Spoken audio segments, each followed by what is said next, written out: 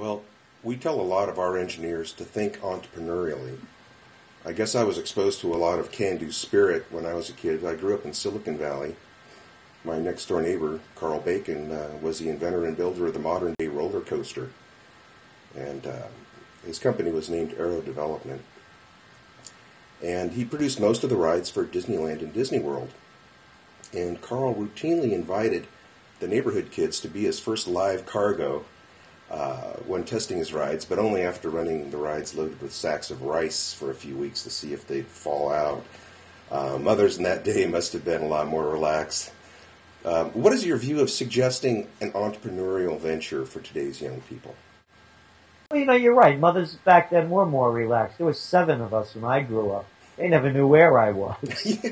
You know, and, and with my friends too. You know, I mean, you know, it's survival of the fittest. You lose some and some survive. But you learn from your experiences. And that's what's missing. These young people, their parents have blown so much smoke up them and told them as little kids that they were special. And then they become a little older, they become amazing. You know, if Einstein were alive today compared to these kids, maybe he could make it as a manager at Walmart. so these kids have very inflated egos without producing anything. But having said that, now they're go now reality is hitting the road.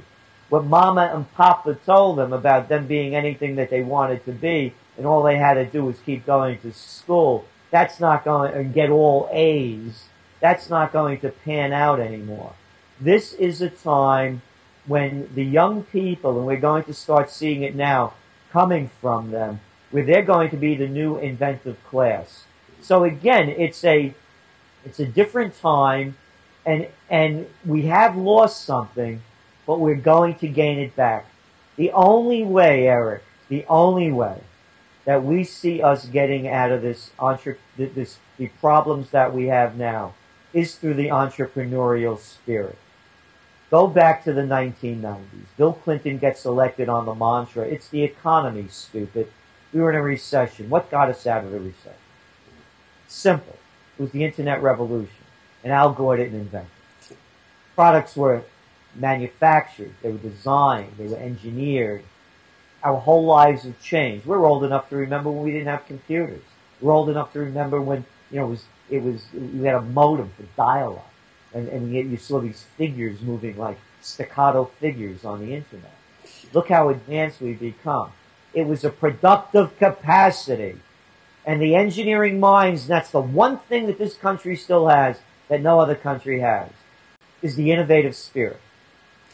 We're losing it because they're bailing out. They're too big to fail. They're turning the tables to make it only good for the big guys. Yeah. So having said that, we still have that spirit that the rest of the world envies. And that's the entrepreneurial spirit. But think of it. When you're thinking like an entrepreneur, you think like a trend forecaster.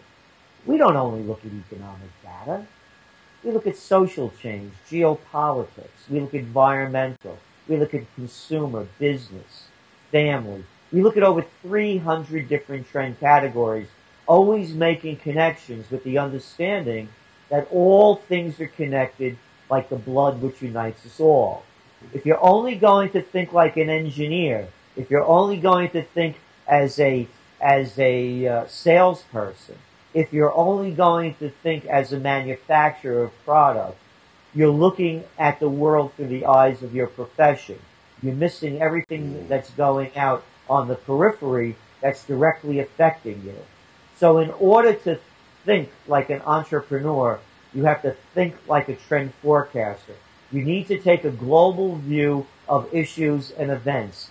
Opportunity misses those who view the world through the eyes of their profession. That's great advice, Gerald. Um, we tell our engineers to learn economics, you know, financing, understanding money, credit, uh, equity, and getting a better economic education is essential to building a business, and uh, especially in these times, is critical to avoid being victimized by the fire sector of the economy. You know, the finance, insurance, real estate sector that's that's grown at the expense of our manufacturing capacity. As an example, entrepreneurs can obtain financing from local banks, family, and friends. So there are alternatives to the big, the too big to fail banks, right, Gerald?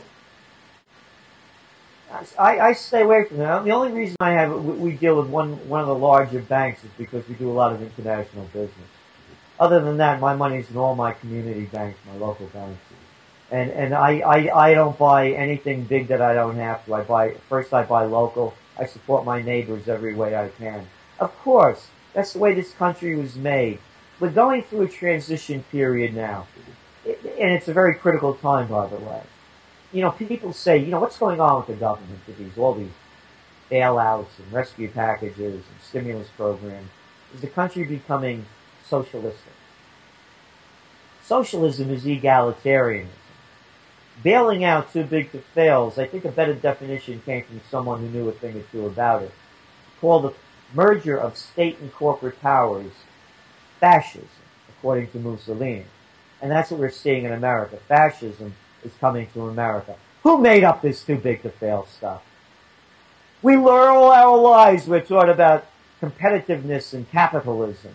You rise and fall on your own merits. There's no bailouts to anybody, except when they take over. Then they bail out each other. Nobody's worth $700 million a year because they're savvy business people. You only make that kind of money because it's either a dirty deal or an inside deal where the game is rigged. and I guess that's all they're all the same. So what we need to go back to is what America is supposed to be. And that's a capitalistic society where you rise and fall on your own merits. If that's the game, then anybody, large or small, could win it. Well, Gerald, your vision and ability to connect trends is, is fabulous. Uh, I've been following you for about 30 months at least. And I would like to encourage engineers to connect with your insights through your publication, the Trends Journal. Uh, how? Please tell us how to get the Trends Journal. Our website is Trends. That's plural. Trendsresearch.com. Trendsresearch.com. And also, Eric, this is going to be one of the greatest times for engineers. It's a whole new era of inventiveness. The, the old century is leaving us behind along with the old thoughts uh, you know, mothers of invention is one of the top trends for 2010. Inventions for the poor. Look what they're doing over in, in India. They're taking the highest of high tech and making products to service a, a declining economy or a poor economy. And, and so that's what you, you, you start looking at. Again, it, it's not environmental. It's smart. Let's start doing things smartly. Over here at the Trends Research Institute, one of our projects for the coming year is we're putting a roof garden on. But not just a roof garden with grass. You know, being Italian, it's going to be tomatoes yeah. and roof, basil. We're putting a full-blown roof garden up there. We do everything we can, ergonomically smart, environmentally smart, and, and satisfying to the soul. That's what the future is, not the bottom line thinking. That's great advice, Gerald. Um, I thank you so much for being with us here today on engineer.net, and um, hopefully we can speak in the future. Well, thank you very much, Eric, and good luck to you.